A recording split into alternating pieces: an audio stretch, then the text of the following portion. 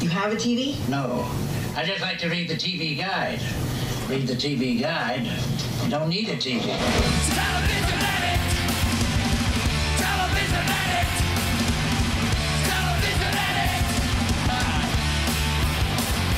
Hello and welcome to TV Guidance Counselor.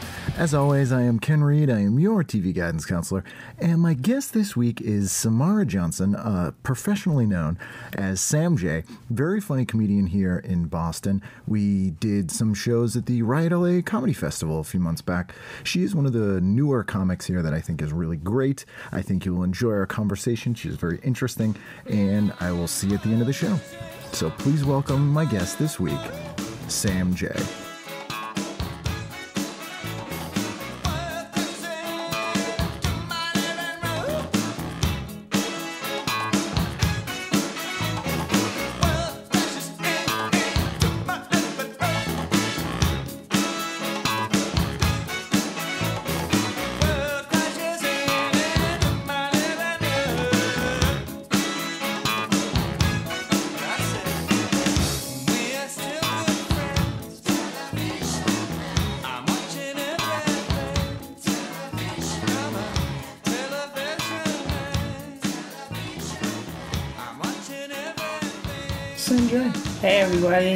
Welcome to the home. I'm excited.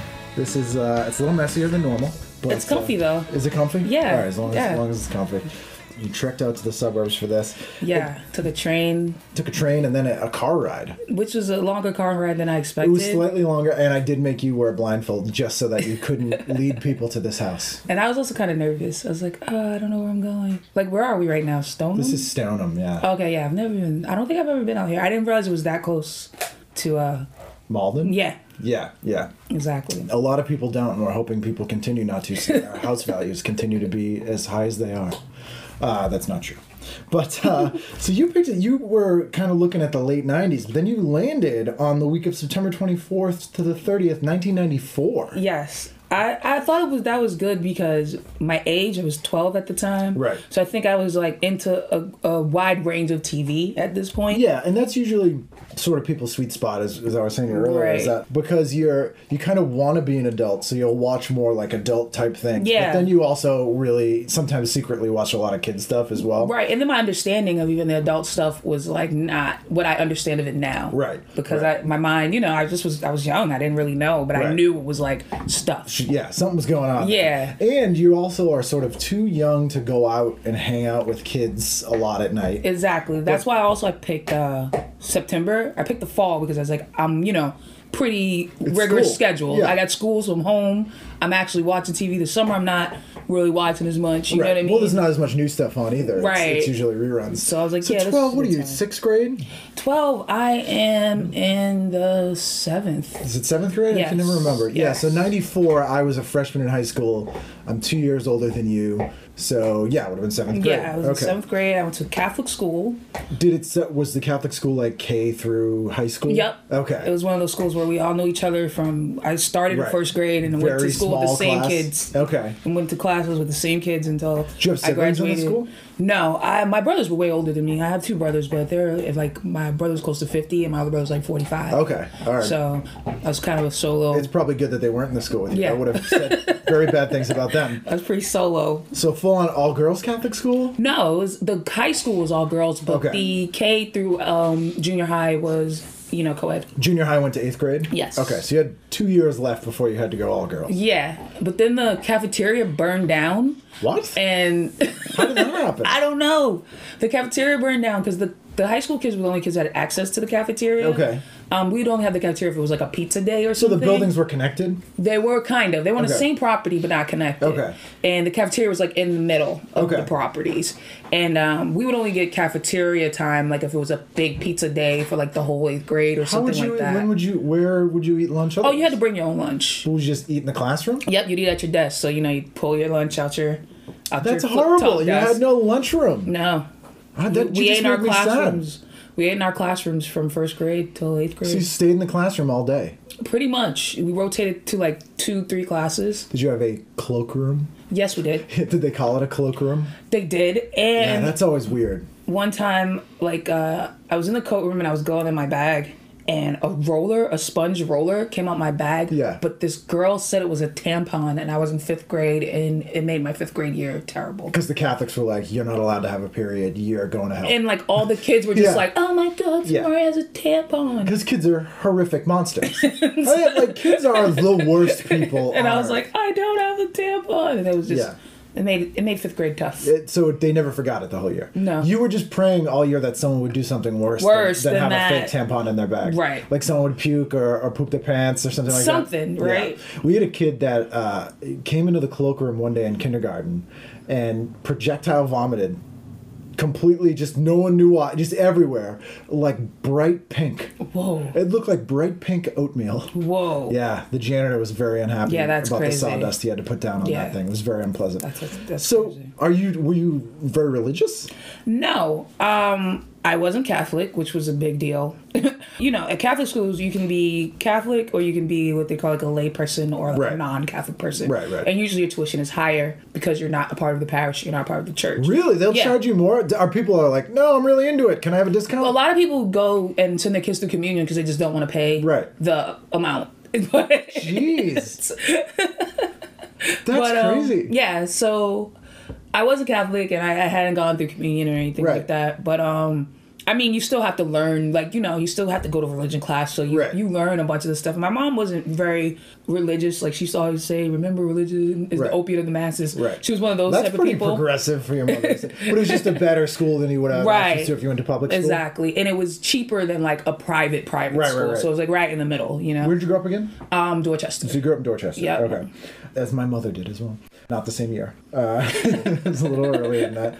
Yeah, Catholic school always just terrified. All my uncles went to Catholic school. Actually, my, my mother's whole side of the family, and it uh, did not do them any good. It was a good experience. I, I feel like I was smart by the time I got to high school because it was crazy. Like, okay, so basically, I was a terror in my school. Like, Okay. They thought at one point they told my mother I was possessed by the devil. Really? Yeah. Did they recommend Um, an exorcism? They did because I used. Hold on a second. Seriously. They actually recommended Yeah, they exorcism? told her I needed to go see the priest and I needed to get an exorcism and then I needed to take communion because Was that because you were left-handed? it was because I was I was just I used to just like to mess with them. Right. I wasn't really bad. Like I didn't fight kids and stuff. Right. I just pushed their sensibilities a lot. Gotcha. Like I would do stuff like You'd question their mo- their, uh, question, yeah. and uh, I would go into church and I when we would stick our head in the holy water, Yep. I'd always act like it burnt me Yes. and just stuff well, that. that will lead someone to believe you are possessed by the devil. just stuff to like, Yeah. and my mother was like, "Will you just cut it out? Like, I know nothing's wrong with you, and I know you think this is funny, Right. But they really think like something's How did you resolve you. that?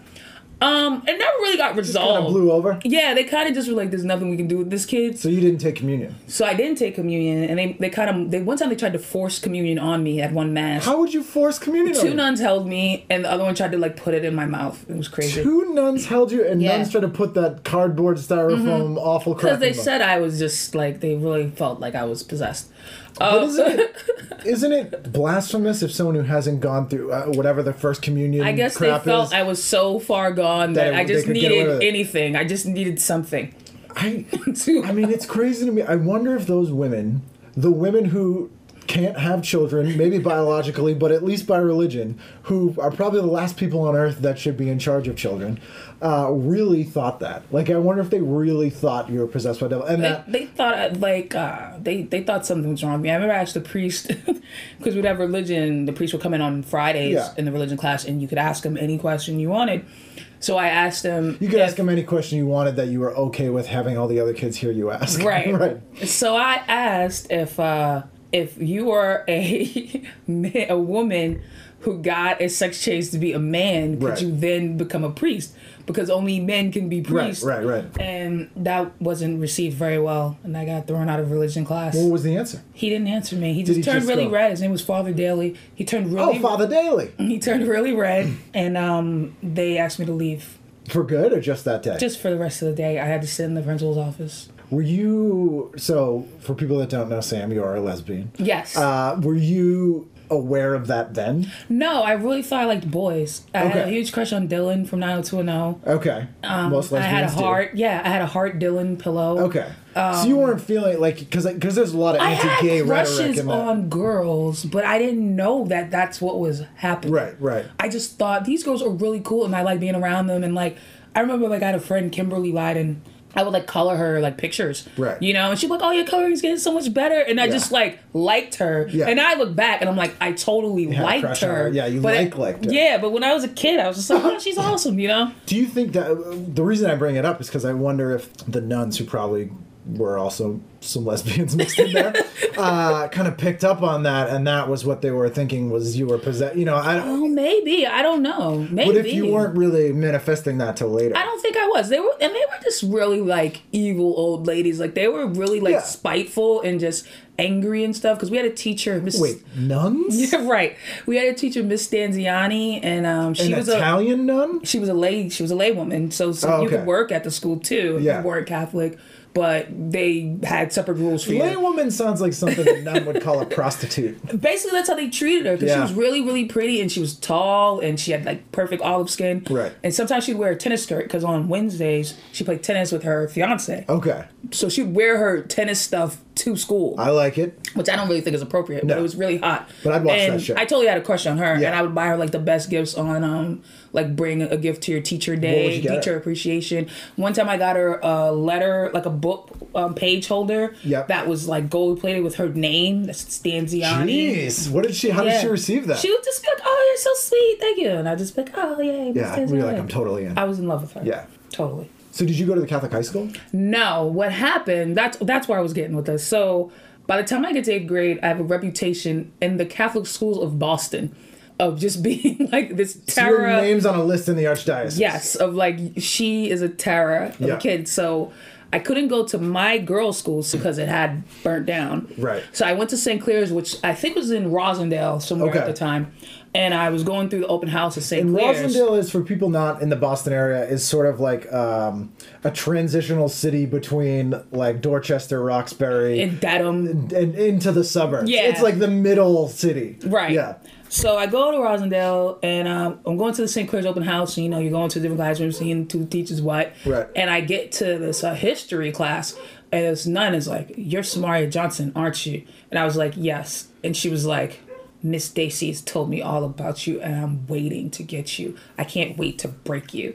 And so That's like a prison movie. it was crazy. And so my mom, I told my mom, Right. and my mom was like, "I'm not doing this for another four years." yeah, it's just gonna get worse. like this is just ridiculous and she sent me away to stoughton high school so I- Okay. my mom moved i moved out to stoughton and stayed with my cousin and my mom was getting ill at the time anyway so i moved Right. out to stoughton to stay with my cousin and i went to stoughton high and Stoughton's pretty far. I mean, Yeah. that's that's probably forty minutes from Boston. Yeah. Very not even just suburban. It's almost kind of rural. yeah yeah yeah Although it does have a strip club. it does one one very bad strip Is club it Alex's? Alex's, and it's yeah. terrible. Yeah, it's really bad. I remember we, when I was in a punk rock band in high school, we used to always end up weirdly playing shows in Stoughton at like VFW halls, and we played a show in this like abandoned hotel down there, uh, and you'd always drive by Alex's night uh, gentleman's club or whatever it was, and they had like a buffet. Oh, have you been there? yeah no it's disgusting it's can the, imagine. it's the only strip club i've ever been in where i, I looked away like i didn't want to look Right. and i was just like i don't want to be here Just just like hideous it was people. just yeah just gross You go to strip clubs often? i do actually Really? really? Actually, yeah, I do, but not in not here so much. But when I was living in Atlanta, yeah, I did go to strip clubs a lot. Inadvertently. Um, no, I really just love strip clubs. Just They're great clubs. places to be. And in Atlanta, they're really like a social scene more. Like girls go, guys go. There's pool. Oh wait, you mean hot Hotlanta? Yeah, there's pool. You know, so It's it's just like hanging out at a bar that happens to be naked people. Right. Yeah. I've only been once, and it was like two years ago, and I was doing the Bridgetown Comedy Festival, and apparently uh, Portland is like the most strip clubs per capita out of any Wow. place in the world or something. So they did like a comedian's strip club crawl, and I got talked into going to one of them, and I was just very uncomfortable. Very uncomfortable. I did not spend a I lot of would time with them. imagine not you know not knocking you, but you don't strike me as a strip club type of guy. No, I'm not. I would It's- imagine mean, I don't have a be mustache. uncomfortable. Yeah, Yeah, I'd no, imagine not you my wouldn't, thing. You not wouldn't like thing. that. Uh, yeah, so Alex's is what Stoughton is known for. Did kids in the high school talk about Alex's a lot? Yeah, they did. Like some kids like try to sneak in and stuff because you know people want to see boobs, especially young boys. In the but- uh, pre widespread internet age. exactly. Did you go to college? Yes, I did. Where'd you go? I went to Clark Atlanta University, and then I left there and I went to a community college in Georgia called Bauder College, which was like a terrible place. That Why did you head down south?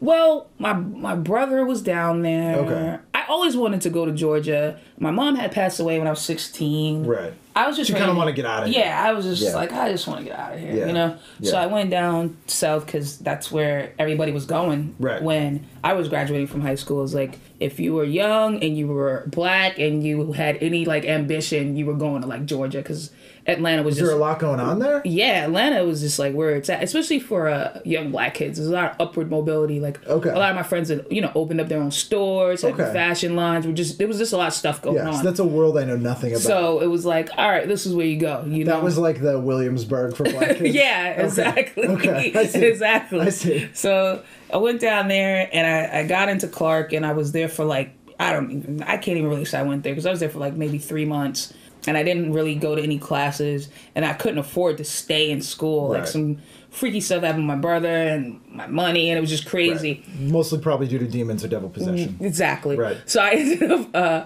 going to a Catholic school. I mean, a um, community, Community. college that was underneath a Lord and Taylor In a mall? in a mall in Phipps Plaza. so it's right next to like a lords and ladies hair salon and like, the, the, yeah, the it was photo like, place? Literally, you had to go through. You could go through the Lord and Taylor to get to it. You go down the escalator to the basement of the Lord and Taylor, and you could walk Oh out this God. door, and there was like a school under there. There's a community college underneath the department store. Yes, That sounds like my dream. And I love a department store. Love them. And if I could have gone to college in a department store, Yeah. I would have had a lot it was fun. terrible. It was a bad idea. Did you finish? No, I just drank a lot and party too much, Yeah. and like.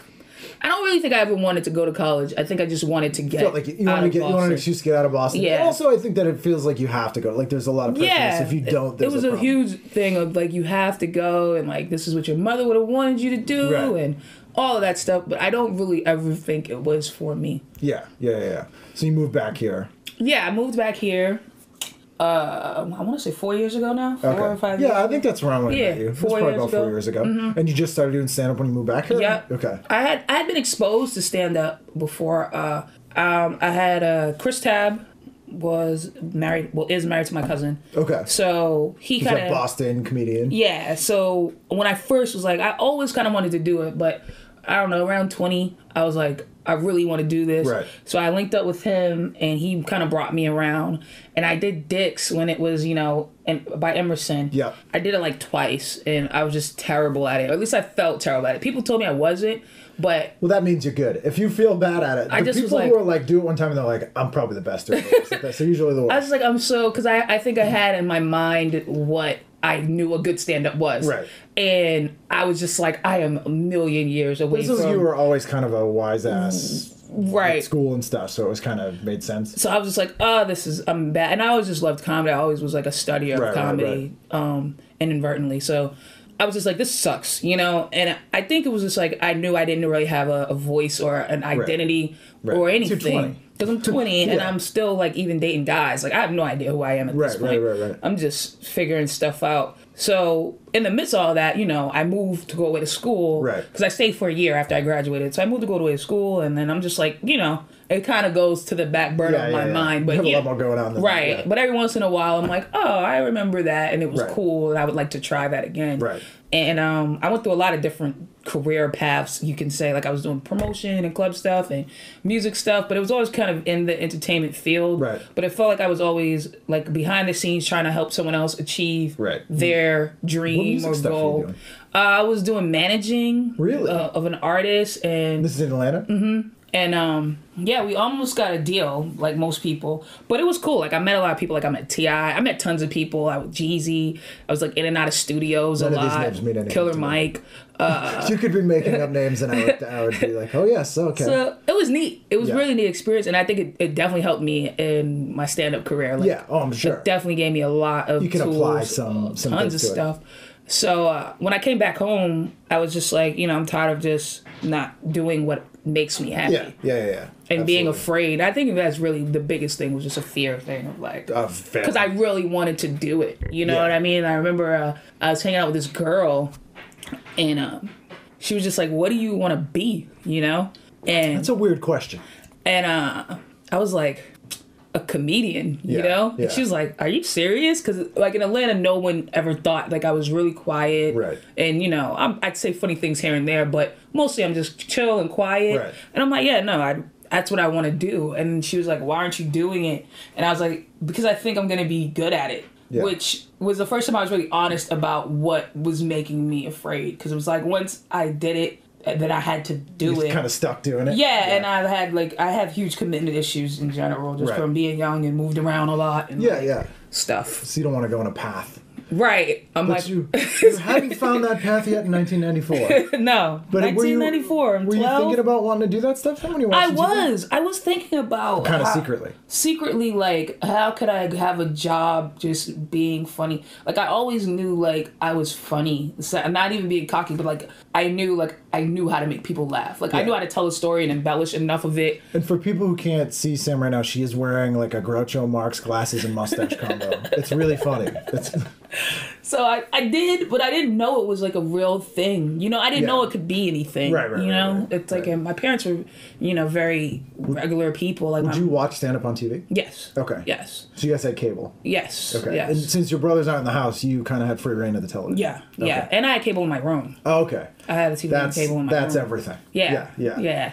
So yeah, I had pretty free TV time. So on Saturday night, let's jump in. Uh, Yeah. What did you watch at eight o'clock on Saturday, September twenty fourth? Clarissa explains it all. So you're a Snick person. I was definitely a Snick person. I was big on um I liked Nickelodeon because it was like cool it was cool programming geared towards kids, but it was smart. It Yeah. was smart and it was engaging. It definitely wasn't at that time, especially. This was was sort of the tail end of it, but Nickelodeon had an atti- like an anti-adult attitude, Right. And it was very much like, uh, yeah, it's kids doing stuff. Yeah. and, it's, it's we, and we could like do that now. cool stuff. Yeah, like kids yeah. could do cool things. Yeah, their rules are bull. We Right. could- and, and it, it sounds silly now. Exactly. Uh, but it was, Oh, it it was was kind of revolutionary at the time, No, and it there was was great. never anything like that. It was like MTV, but for like kids. It was great. Yeah, it was like, and, was- and it had they, they had the news and like Oh, yeah. Belinda Ellerbee and like and that stuff was great. And Yeah. it didn't talk down to kids. There was some no, it was great So stuff. Clarissa, so- this episode is best friends Sam and Clarissa play the dating game.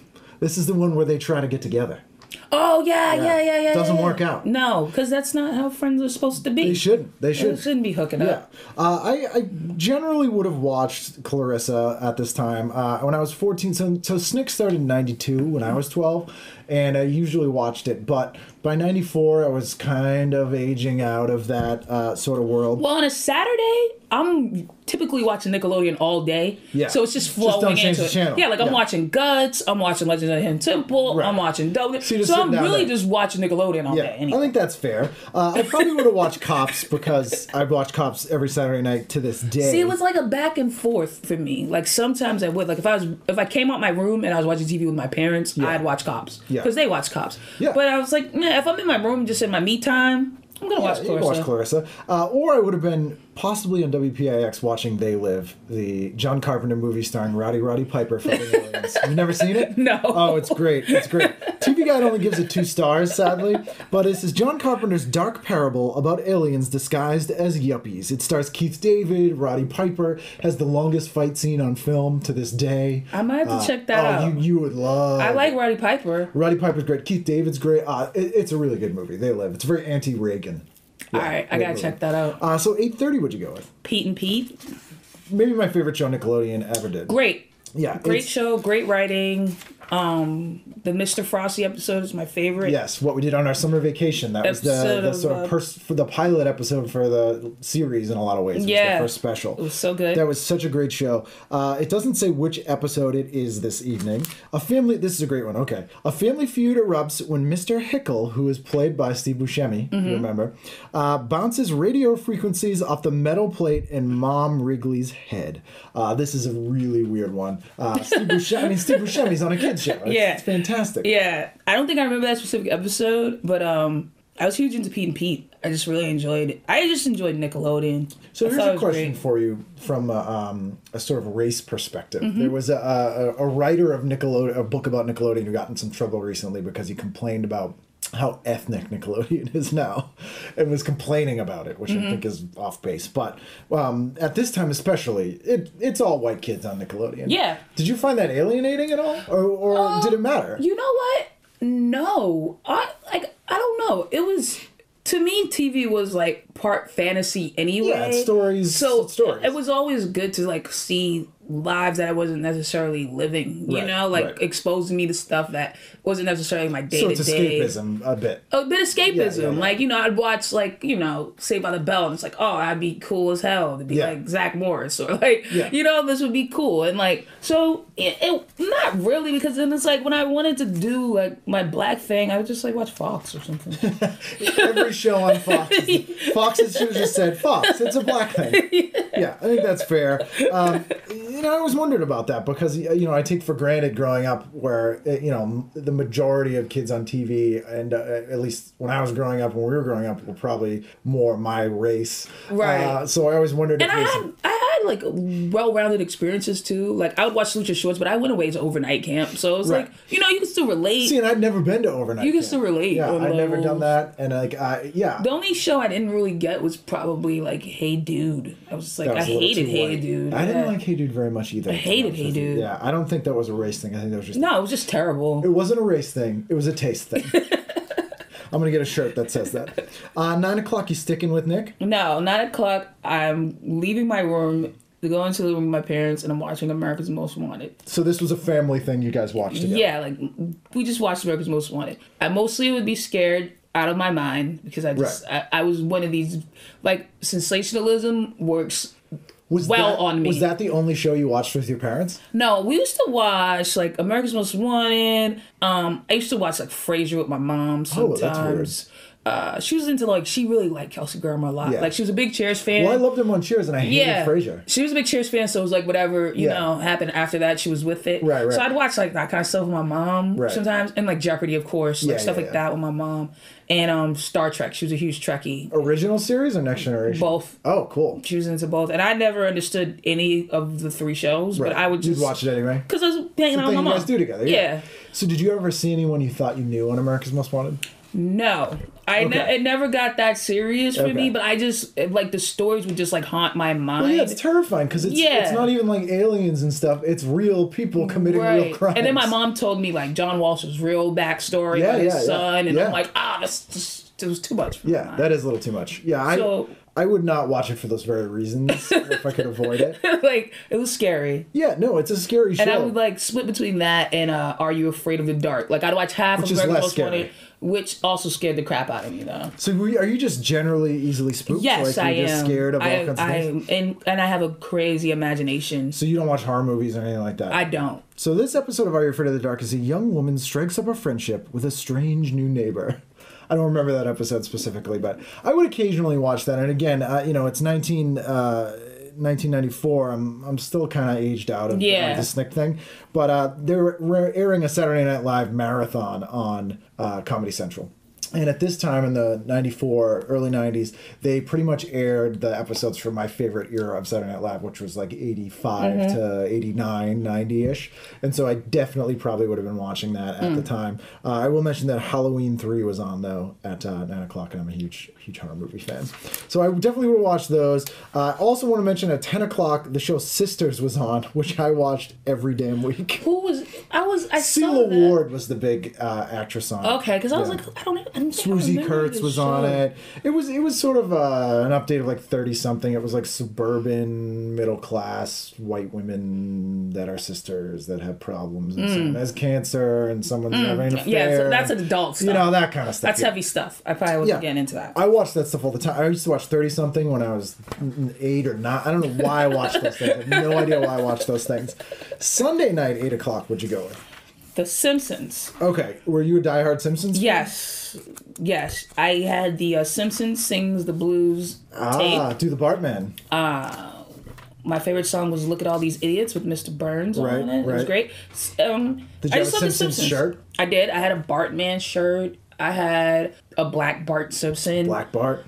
shirt. The I had a black Bart cake for my birthday that year. Where'd you get the Black Bart shirt? Um, it was like some local store in my neighborhood Yeah, had a bunch of different. They were everywhere. Every Yeah. convenience store. Yeah, it was like those. Yeah, it was Yeah. those and the and the hip hop Looney Tunes. Yeah, I had that shirt, and. I, I've been looking for one on eBay in my size because I feel like that needs to be resurrected. They they can go for kind of a lot of money these days. Yeah. Yeah. I we used to go to the flea markets all the time as a kid and and that time especially, we'd go to this one in Revere that was in the parking lot of the Revere cinemas, Mm-hmm. and I felt like they had a whole aisle of just like black Bart Simpson bootleg memorabilia, and then all hip hop uh, Looney Tunes. Yeah, everything. yeah, yeah, like whatever you needed, right? Yeah. Yeah. Or the So- corner mall uh, in downtown. Oh, yeah, Crossing. downtown. Yeah, Yep, you yeah. get the, the picture there too with the uh with the brick behind Oh, yeah, you, yeah, the yeah. different like airbrushed yeah, uh, motifs. Yeah. I still like the corner mall in downtown.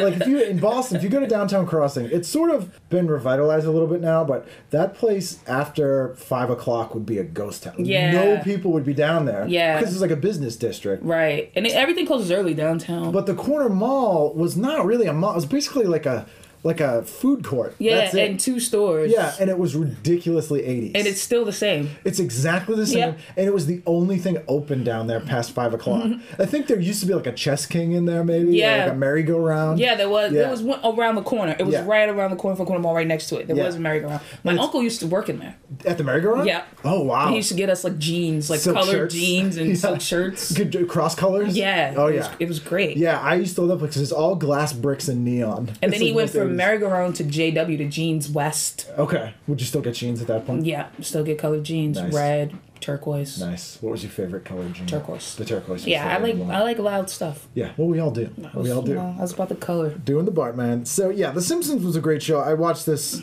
pretty much every week on Sunday nights Yeah. as well. Uh, I kind of checked out around the early 2000s, but by too. '94 I was definitely into The Simpsons. And this one is a romantic novel, inspires Marge's family discussion of love, but the stories told, seen in flashback, all seem to end in heartbreak. This is the one that tells like how Homer and uh, Oh, Marge got met. together. Yeah, yeah, yeah. Okay, This is a very good one. that was a good one. That was yeah, cute. I enjoyed that one very much. Uh, 8:30. What are you going with? Real world. The Real World '94, Real World. which is the Boston cast. I From the beginning to the end, I was a Real World fan until maybe like 2000. Yeah, 2000 I checked out of the real 2002. world, absolutely.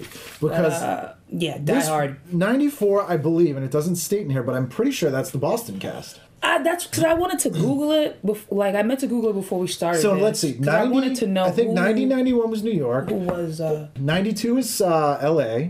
New York was great. 93 was San. Francisco. You know what? 94 was London. Yeah, okay, that's what I was to to say. London. I feel like it yeah, was. Uh, she's googling that, but I, this is my memory. Let's see how correct I was. I think 94 was London, 95 was Boston, 96 was San Di- not San Diego, Miami. 96 was Miami, and then I think 97 was Seattle. Seattle. This is yeah. information that would be of use to no one. this will never come up. No one will ever ask me to list Seattle was my towns. favorite. One of my favorites. with David. yes. Yeah. With David and um with the guy who smacked the chick. Oh yeah. Um, the girl with Lyme disease. Oh, it's saying San Francisco. San yeah. Francisco 'Cause I was is- about to say I don't think it was London because I didn't watch London. San Francisco was not 94. That's what the, that's what the people are saying. Where are you saying that? I'm looking at it. MTV. No. Real World San Francisco. 93 would have been San Francisco. David Puck Rainey. 94? They're saying it's San What year is it saying it was London? Let's look. This is riveting to people. This is crazy. Yeah, this is because I have a lot to say about San Francisco. I didn't like the San Francisco one. I loved it. Was it your favorite one? No, but it was up there. Um, 95. 95 was London. 95. All right, so I'm a year off. Yeah. So we're in San Francisco then in the real world. Yes, San Francisco, real world. Awesome. Let's talk about it. I Puck was the man. You liked him? I loved Puck. I didn't appreciate them kicking him out the house. See, he was everything I hated in a human being. I loved everything about Puck. he reminded me of people I knew and I didn't like. I didn't. Maybe I see. This might get back into the like fantasy. Maybe because Yeah. I didn't know anyone like that. I was just like so like Yeah. captivated by how disgusting he was. Yeah. And how he didn't see like anything wrong with it. Right, right, right. And um, I, I think it made for great fun in the house as far as dynamics go. Yeah, I mean, I think the reason that I sort of had an aversion to the to the San Francisco cast, and in, in hindsight, I would easily watch it if you had a cast of people like that now, because now the show's just like dumb, Right. hot people fighting and having Right. sex. These each like other. dynamic people. But the, yeah, it was a, it was a it was a true mixture of people from all different backgrounds, and it was kind of what the point of that show was. this is around the time though with the real world where I hated the black person all Oh, the time. he was uh, They- total wet blanket boring. it was that guy with the they dreadlocks and yeah. the awful band. But they right? kept getting black people like that. Yeah. And it was just like, can you get like a engaging black person, Yeah. please? Well, Like, no, Heather B in season one is great. Heather B is great. Who right? doesn't like Heather B? Heather B was great. I thought they kicked David out too quick for me to even give Well, a he shit did about him. assault Tammy. Oh my god, no, he didn't, I and that makes me so angry. I know he didn't. My favorite Tammy quote: "It wasn't not funny." The double negative that she didn't even know. I did love Tammy though. I liked loved Tammy, but oh my god, I hated Beth, and I just Yeah. felt like Beth perpetuated that Beth whole S? situation. yeah, And or Beth L. um, There's two Beths. the terrible Beth, Okay, the yeah. fat I think one. that's Beth S. Yeah, Beth L was the lesbian. Yeah, yeah, yeah. No, yeah. hate Beth. Yeah. she perpetuated that whole situation. Oh, yeah, that was Beth. She's a shit stirrer. She's yeah, and then that whack cop came like, "You got to get out of here," Yeah. and it just pissed me off. Or there was the time though that David flipped out on on John Brennan for not cleaning up his styrofoam. Yeah, I remember that. It's styrofoam. Clean it up. I do Yeah, that. while he was putting his rollerblades on. But I like this one. The, the cast on this one, you know, what I think I like Puck. Mohammed was the was Yeah, right? Mohammed he, was he was so terrible. boring. Oh he was the most boring person. I was so happy when New New Orleans came and they got David because I was like, at least David Yeah. is interesting, you know. But uh, I think I like this one because Puck. I like Puck because everyone else was so boring. Now that I'm looking at them, yeah, you had everybody Rachel, was boring. You had Rachel, the Hispanic Republican. boring. Was very boring. Mohammed, boring. Judd Winick was boring, although I like him yeah, now. He's boring. writes comics now. He's much Yeah, more yeah, interesting. but he was boring then. yeah, and Puck was boring. I mean, not Puck. Um, Pedro was boring, Boring. but his story was interesting. But it really wasn't. It was just like, okay, it's San Francisco I think- and you're gay yeah, but you have AIDS. And then he had a whack boyfriend. Sean was very yeah. Sean But was very here's the thing, though. I just wasn't I just like Puck. I At the Puck. time, that was interesting. Though. And I didn't like how they kicked him off via voicemail. well, fair enough. But at the time, there were there was no one with AIDS on television. This is true. I mean, that was- it was groundbreaking, Yeah. but he him as a person, I was so bored by him. Yeah, no, I, he wasn't the most dynamic I person. was just like, oh my yeah, I God, will he's so boring. But I think that the we can't discount. It's hard to put ourselves in that mindset from 20 years Yeah. ago. How crazy it was to see a character on television who's a real person And he died. who has AIDS and dies, and you see Like you watch journey. it. You know no, what I mean? no, it was powerful. That that was important. It was but I think powerful. I think in some ways that and Puck being such an asshole overshadowed everything else,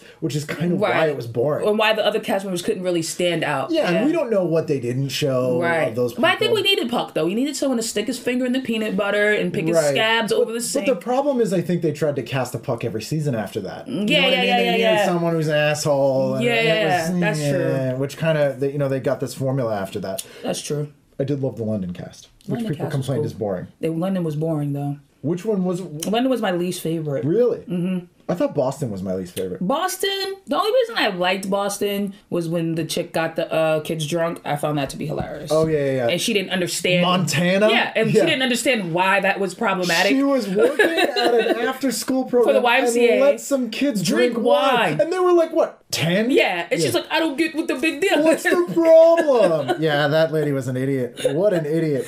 Uh, yeah, I always watch the Real World, but uh, I MTV aired stuff a million times. Yeah. So at eight thirty, I mean at uh, yeah eight thirty on a Sunday, I probably would not have watched it. I would have been watching Hardball. Mm. Which, although I hate baseball, was a new show on Fox that was sort of like a ripoff of Major League. It was like You know a Major what? League the series. I couldn't remember what the show was about. Yeah. So I was like, I don't think I watched it because I was like, I, I couldn't remember it. So I was like, I don't think I was watching. it. Yeah, it, it was it was basically Major League the TV series. It wasn't great, but I definitely would have watched it. Uh, Nine o'clock. What are you going with? Married with Children. Did you watch this every week? Yes, I did. Did you love it? I loved it. Have you rewatched it since? Yes. And you still like it? Mm, oh, it's hard. It's cartoonish. Yeah, it's like I do for what it is, but I don't. It's it's not like a Cosby Show. I don't like it like that. Like It I watch Cosby Show and I laugh and I laugh. Well, Cosby laugh. Show is timeless. Yeah. Married with Children is very of its, It's like um, mm, there's certain ones that I'm like, oh, I remember this one. It was great and it was funny to me. and at this point, the show had been on for seven years. yeah, and I'm I'm trying to and see this one. So at this point, she's married Jefferson, Oh yeah, Jefferson came in in season three. right? So yeah, so So this episode is is Yeah. what most sitcoms, if they go long enough, end up with an episode in this genre, and it's the dream genre. And so this one, Bud's intense studying for a scholarship makes him periodically nod off.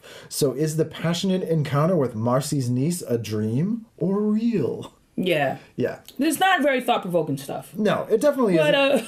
uh, I don't know. I was 12. yeah, fair enough. Fair enough. I would have watched the network television premiere of Total Recall. Yeah. Yeah. That, Even though it's edited thing. for television, I would have loved it. Saw it in the theater, loved it. loved it. Uh, 9.30, what'd you go with? Um, just watching MTV till, till, Just I, videos? till I fall asleep. Videos and then Beavis and Buttheads coming on Yeah. and like Liquid TV, which I was Liquid a big, Television Yeah, I was a big amazing. fan. The Slate, which I love. The state? I mean, the State, yeah, which I love. I'd watch The Slate. the State, which was great. Sunday um, nights MTV. I used to watch at midnight, 120 minutes, and that was where I heard all the music I loved. I Yeah, would yeah. tape it, watch after school with a notebook, write down everything. yeah, especially in '94. Especially in '94. Yeah, so absolutely. MTV, yeah. All right, so Monday night, eight o'clock, saddest night of the week. It's the best night of the week. It's for the me. best night of the week Best night of the week for me. What'd you go with? Melrose Place. So you were super into Melrose Place. I was addicted. Did you watch 90210 and all that Yes, stuff as well? Models yes. Inc. I started to, but I didn't really love Models Inc. The Heights. I didn't really like any of that stuff. I was just Melrose. Just Melrose. It was just Melrose. What was it about Melrose Place that you liked? Um, it was it was just so much going on. Yeah. It was like how could you not? There was like six different stories going on Right. at once.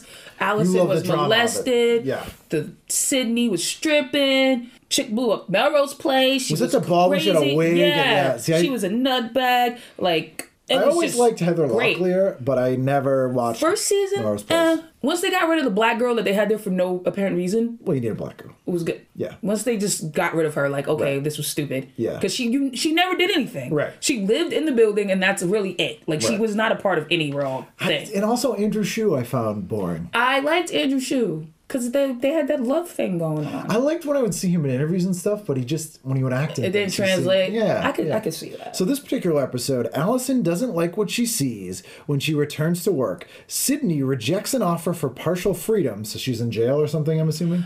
Sydney was just a mess. Okay. And Uh, this was when it really was getting good because Sydney was trying to have sex with Doctor. What, what was the guy's name? The Doctor. Oh, I don't know. I never watched Melrose Place. Mm, Yeah, Sydney was sleeping with the Doctor, and the Doctor was messing with Kimberly, and it was just crazy. Then we have Reed's parents visit Joe. Jane gives Michael a new view Oh, on their past. Matt gives his opinion Yeah, on Michael Mancini. Mm-hmm. Michael's hit and run to Kimberly, uh, who answers with a threat. Woodward with a threat. Yeah, Woodward Wayne.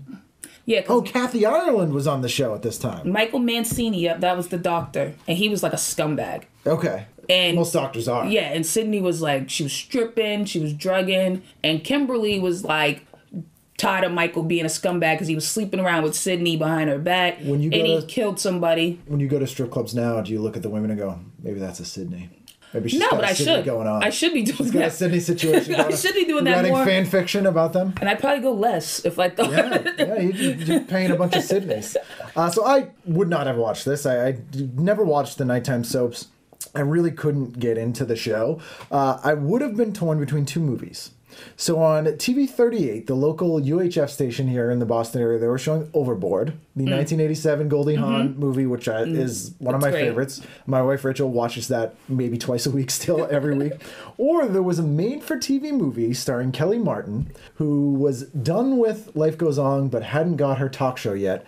And it's called A Friend to Die For. They give it three stars, and it's on NBC, and it's a high school student's murder rocks an upper middle class town in this fact based 1994 TV movie. The victim, a popular yet snobbish teen named Stacy Lockwood, played by Tori Spelling of 90210. This is all good stuff. Yep, her uneasy relationship with a sensitive and studious classmate, who's Kellie Martin, is the key to the crime, which the teleplay links rather tenuously to intense social pressures at school and Hmm. within the community. Valerie Harper is in it, who I'm a huge fan of. This Met once, cried in front of her. It was very embarrassing. Terry O'Quinn is in it, who later went on to be in uh, Lost, but he had just done The Stepfather 2. Uh, this sounds fantastic. Yeah, no, this sounds good. Yeah, I would have watched that. Uh, nine o'clock, what'd you go with? Nine o'clock. I'm watching wrestling So you passed up Mercy, Murphy Brown. Because at this point Murphy Brown's in syndication, I believe. So you would have watched it then. yeah, I would watch that another This is a very special Murphy Brown, Sam. I would watch that another time. A monkey guest stars in this episode of Murphy Brown. this is Murphy must kiss up to station executives at an affiliates meeting after she badmouths her network's fall lineup. And if you look at the ad here, I will show it to you. It says Murphy meets her match. Murphy takes on the network's new fall lineup and winds up with a monkey. Whoa! I don't know how that happens, but she somehow is in the custody. I kind of feel like I remember that episode custody. too.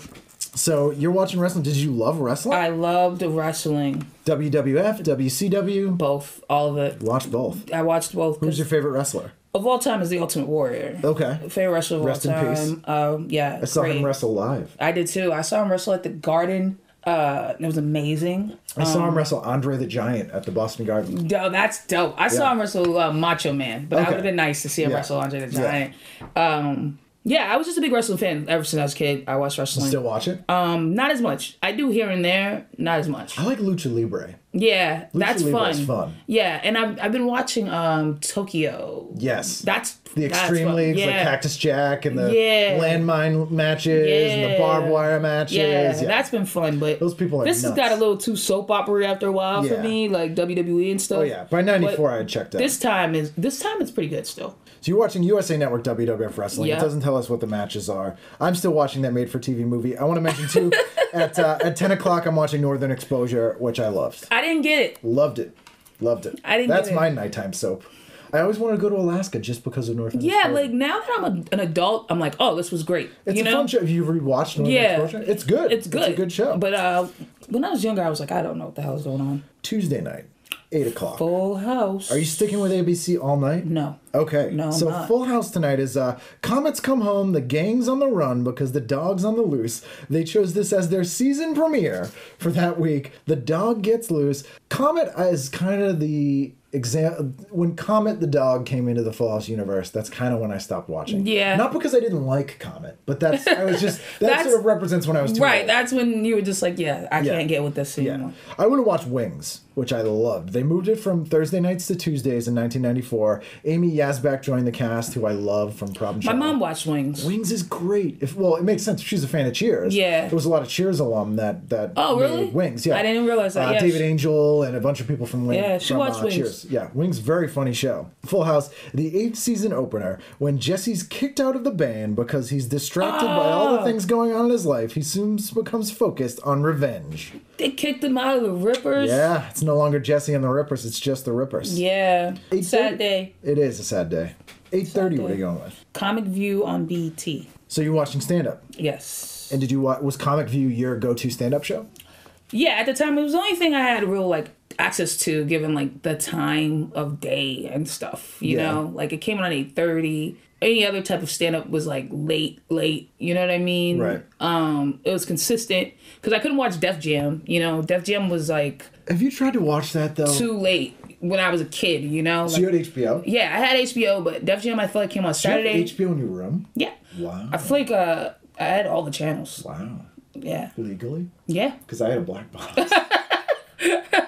Yeah, legally. Yeah. My mom was very paranoid about stuff like that. She's like, no, they're gonna find us. Okay. So she wouldn't do she didn't things care like that you were watching like potentially inappropriate things. I don't. She like would she you was- watch like Skinamax and that kind of stuff? sometimes, but she like she wasn't really strict with me about TV. She was strict Right. with me about how I behave. It was like you better be able to know the difference between reality So she and didn't like see a connection between the two. no. She's just like you know like know that this is a separate thing from like life. Right.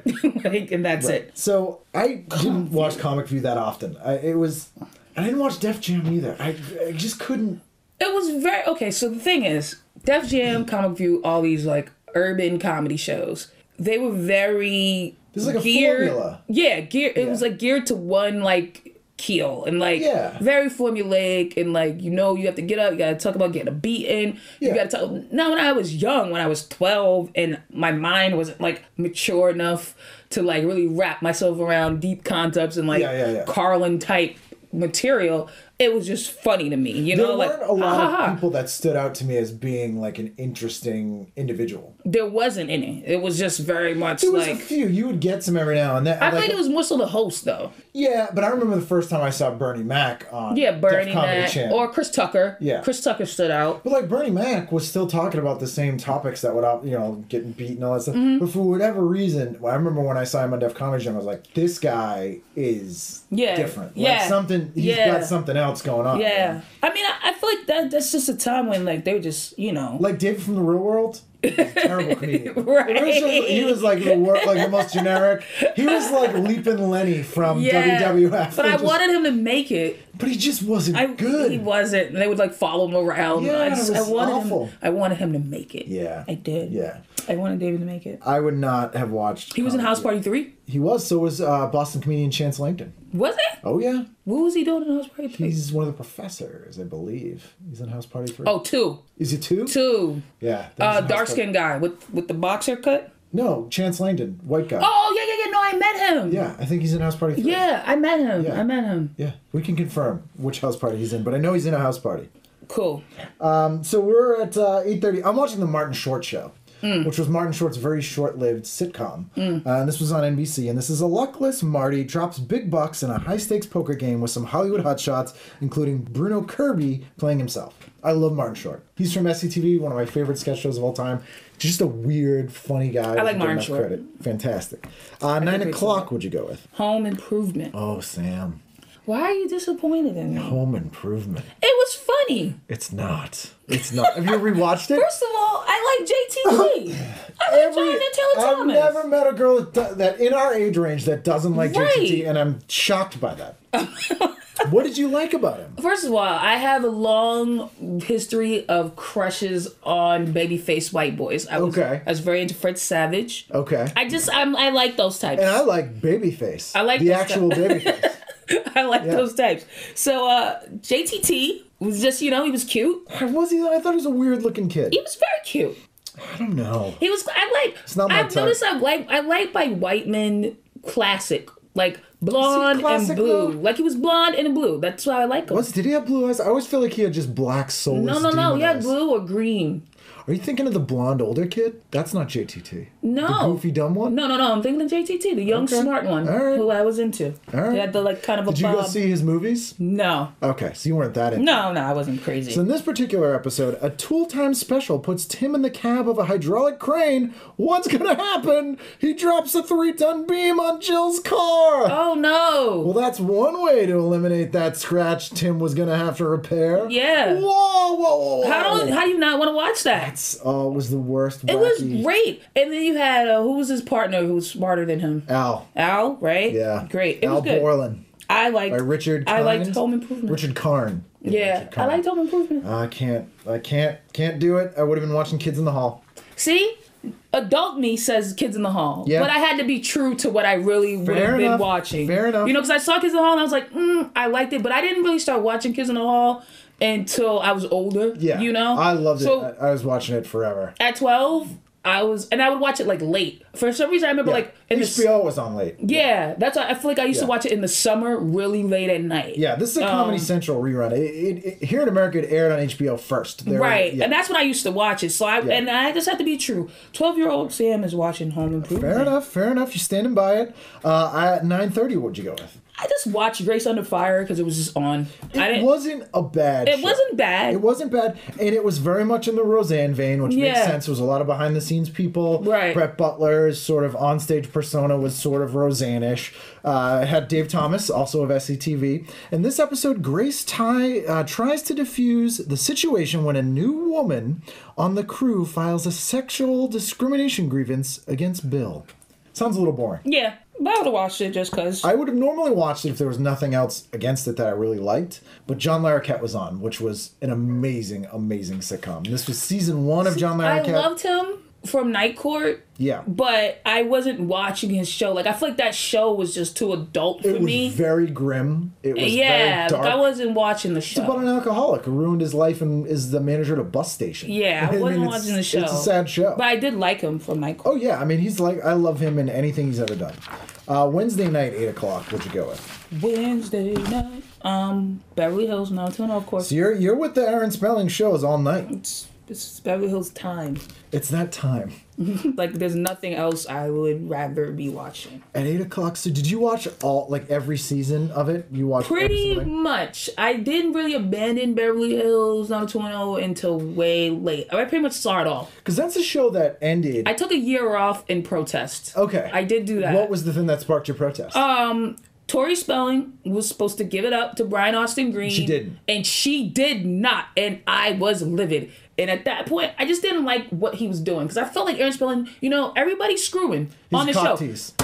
And everybody's screwing on the show. And Yeah. you just don't want your daughter to get Fair screwed. though, I don't really want to picture or think of Tori Spelling having sex ever. I didn't want to, but I just felt like, how come everybody else could be a whore? Bait and switch. You felt like you got you got Yeah, lied to. and it's like everybody else could do it. Like Fair enough. everybody's doing it for some reason because she's your daughter. She Yeah. can't be doing it. to be, if you and I were a was tired of daughter and you were producing a show, would you want to shoot an episode where she has sex? No, Yeah. but the young me didn't care. I was. Et I had enough. Sam Jay I had Et tu. enough. Uh, this I took a particular off. this particular episode, what brought you back? I couldn't really stay away. It's, you were just not you on were, two and oh. you were having like the DTS from it. So this episode, David finds a woman too close to home for Donna's liking until she finds a new man herself. Brandon has trouble handling his Oh, so this was when she met the dude from the pumpkin patch? I Yep, think? and his uh, challenge, and a challenge to his political position agrees to ground rules with Dylan. Yeah, I, don't- I don't know anything about this. Nothing. Mm. Yeah. Well, I know all about it. I would have watched the show. I know all about Fair it. enough. I would have watched a show that I never watched at the time, but uh, I recently did an episode with a cast member from this show, and it sounded great. And I wish that I had watched it then. It was called Thunder Alley. No, No, I don't know about no. Thunder Alley's Ed Asner and Haley Joel Osment and Jim That Beaver. sounds- yeah, former guest of the podcast, Jim Beaver. Uh, it's a sitcom. The odds are good that there will be trouble in the Turner household when Gil takes the kids out of school to go to the racetrack. I Mm. like that. That's legitimately something that happened to me as a kid. Really? Yeah, yeah. My grandparents took me to would, would take me out of school and we'd go to the racetrack and bet on horses. Yeah, my you know what my aunt used to do. She'd call, I'd get called down to the principal's office like with a family emergency. Right. So I'd be like, oh, who died? And my aunt would be like, we have to go. We have to go to the hospital. So I'm like, what the hell? Like, who's sick? We get in the car and she's like, we're going to the movies. and I was like, I don't want to go. She's like, I wanted someone to go to the movies with. And we'd go to the movies. That's pretty awesome. I, but sort of, but not when you think someone's dead. Well, So, Beverly Hills, I did want to make a point about 90210. 'cause Okay. This, this is such a big part of who I am as a person in my life. Which, not Um, to be, not to offend you, is surprising. I wouldn't say that. Oh no, yeah. Knowing No. Mm. you, I wouldn't be like, I bet 90210 is a big part of Sam's big life. part of big part of my life. And I I appreciated Aaron Spelling's rebound because I was so upset that he didn't let her do it. But then Right. like he let mad crazy stuff happen to Let her. her do too much stuff. yeah, they got crazy. Like them pumpkin, that's what I called him, Ray. Yeah. Because she met him at a pumpkin patch. Okay. He was beating her up and stuff and like throwing her down the stairs. It got real crazy. It's weird that you'd be like, I won't let my daughter have sex on. Right, but you let her she get, the shit kicked out of her. exactly. Yeah. That's what I'm like. A little weird. It got crazy, and I think it was like there had to be some form of outcry. of People like, why isn't her character? Because her character really never did much of anything. She's very goody goody. Right, like everyone was on coke, and it was Yeah. just crazy. It was insane. I guess And- again, this show, I think it, I, I, I know at the time I felt like it sort of um, lionized behavior that I hated in kids my age. See, I didn't know anybody doing this kind of stuff. There was cokeheads at my school. See, no, I had no idea. Like none, rapey douchebags. none of that was happening. So I was just like, oh my Yeah. god, this is so entertaining. To Wow. Me. Yeah. Yeah, and then the one with the kid shot himself. David's Oh yeah, friend. because he was flipping the gun Yeah, around. Oh yeah. oh my God. Check this out, man. Yeah. I remember the. I What? remember the Riveting ads for that. stuff. They were like Riveting stuff. But I remember. I remember getting an argument at school because there were people on the Friday after that. Because this one was on Thursday nights, I think, that were legitimately upset. Like they were crying because some some dink. And, and I had seen he was doing like a like Yeah, a like a was- Lone Ranger yeah, gun spinning and he shot himself. And I remember It was sad. I was upset Was about it because and that character also was like just introduced in No, he was only there for a day, Yeah, I think. yeah. But I was very, I was very torn up about it. I remember it. these girls at school were really upset. No, I was too. I went on a rant. I was like, "Oh, like flipping the gun around and like acting it out. I'd was it before. upsetting. It was they upsetting. started crying. They told on the principal to me, and I was like, "Are you making fun of someone they know that died?" And I go, "No, I'm making fun of a show they watched last night." And then the principal was like, "Stop doing it. Get out of here." Yeah, that one specifically, I remember. 8.30 I would have gone with All American Girl, which was Margaret Cho's short-lived sitcom. I really enjoyed her stand-up at the time, and I, I Mm. Yeah. have watched it. Not a great show. Uh, also miserable for her, as she has documented many times. Yeah, yeah. No, I, I to feel like watch I've seen it once or twice, but it wasn't. I liked her. I liked her stand up. It's very different from her stand-up. Yeah, her stand up was great. She had that joke. They should kill me about her. Her grandmother finding her dildo and thinking it was a curling iron. Yes, that yes. was great. It's happened to all of us. Awesome. Nine o'clock. You going with? Roseanne. Love Roseanne. Just a perfect, perfect sitcom. One Mm-hmm. Yeah. of my all-time favorites. Uh, Dan isn't the only one who's a wreck about Roseanne's pregnancy. It did start to go a little downhill here when Roseanne got pregnant. She was at the height of her like public crazy Right, whatever. right. But it was still an enjoyable show. It was still good. I would have watched it. I really didn't like the idea of her and Dan doing it, but whatever. No, but if it was Tori Spelling and Dan, you would have been okay. Yep. Yeah, fair enough. Definitely. but I like the idea that there was a television show with people who looked like what most Americans look like. Yeah. And they were doing it. No, and I like that, and I, yeah, I like the idea, and I liked how real it was. Like what everybody liked about Roseanne. Like I like Yeah. the fact that it was like we can't afford this baby. Gonna lose the house. yeah, not afford a baby. Yeah, not like oh yay baby coming, but Yeah. the reality like some people don't want a baby. You Yeah, know what I mean? yeah, like yeah. it could be like a problem. Absolutely. You know, so I thought that was really great. Don't let your baby play with a gun.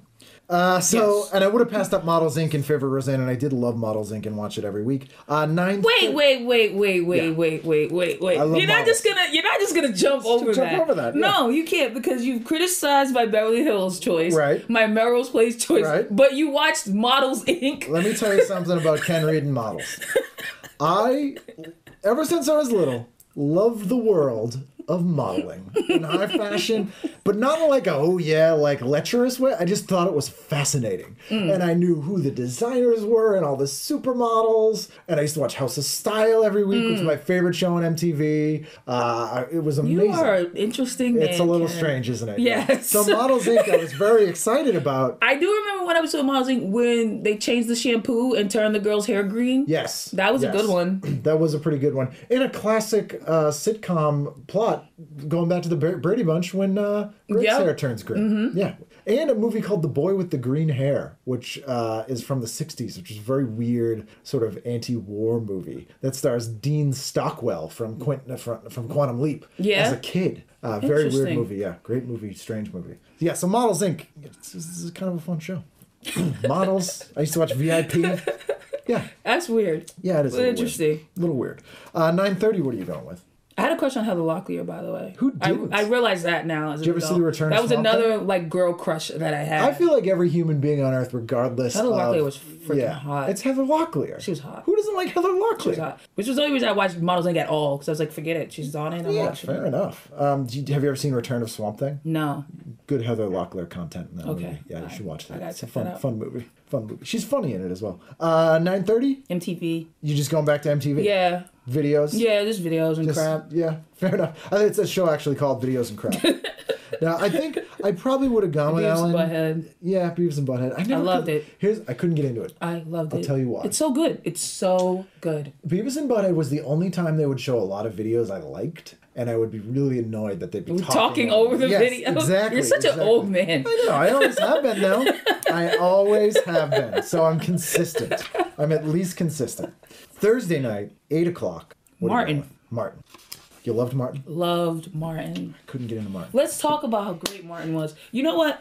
This is the thing. Some people criticize Martin because they're like it was a lot of like stick and over the top acting, Silly. and silly I hated stuff, Sheneneh. and the characters and all that stuff. But for me, um, I thought he did that stuff so well. Like it was in the tradition of like older sitcoms, you know, Like what? like the way it was played up. But I'm trying to think of like some that I can think of. So like you could my even get into it with like Sheneneh and all that stuff. Hilarious. Oh, I just couldn't. hilarious. It was so Hilarious. cartoony. Mar- Martin is still a, a talk like a show I can watch now. Did you rewatch it? yes, and die laughing. Did you like his stand up? First one, yes. Okay. Second one, no. Yeah, I mean, because the show is very different from his stand up. yeah, but I thought he was. I thought he did the characters well. I Yeah, I mean, I agree with you on that. I just didn't Um, like the characters. like the little kid, the the kung fu dude. Yeah, just it was hilarious. It was just the too security broad. guard, It was too Otis, broad for me.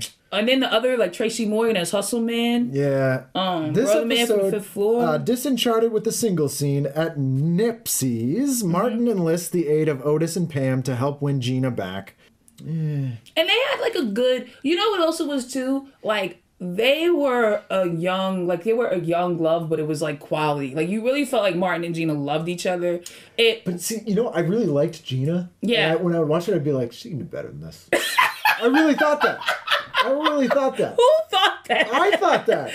You didn't think she could do better than Martin? Is kind I've of. never heard anyone say this. He was like kind of a loser, and she was like kind of successful, and you know she was she could have done so much better. Than Yo, she was keeping him Ken afloat. Reid is officially a hater, bro. Yeah, absolutely. you don't think Gina could? If you don't think Gina could have done better than Martin, That was real wrong. love. That was real love, and it was like young. He treated it was bad. like young hip hop era love, and that's what I liked about it. Like poetic justice. Yeah, See, I saw that because I love Janet Jackson. Janet Jackson's like my favorite. Yeah, and we discussed dope. this before. I think she's the better Jackson. she is. She's the best one. I saw Poetic Justice and I was like, uh, Tupac, you are not nearly good enough for Janet So Jackson. you're a hater. You are It's not official. Nearly, is that what a hater is? Yeah. I don't know what that is. Is that someone who just hates dudes Yeah. who are dating women? Yes, that. That's a hater? yes. You don't think Janet Jackson could have done better a than hater Tupac? Is a, a hater is a dude who's like, you can do better than that guy. Like, But I'm right. I don't think that about everyone. Just Janet Jackson and, and Gina. That was Gina. That was quality. Martin was good for her. You think that he could have done better than her? Ooh, probably not. No. Probably not. He was lucky to have her. But it was like, especially if you were a house party fan, it was good to see them together, acting together in a role. Yeah. you know what I mean? Because it was like Did you go see all the house party movies in the theater?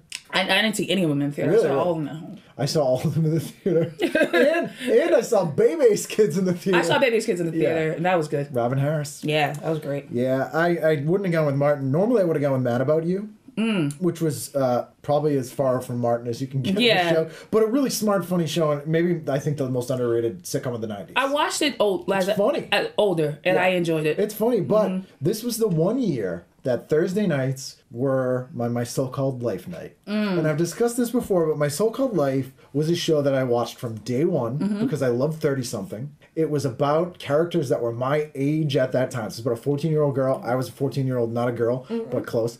Uh, and similar haircut.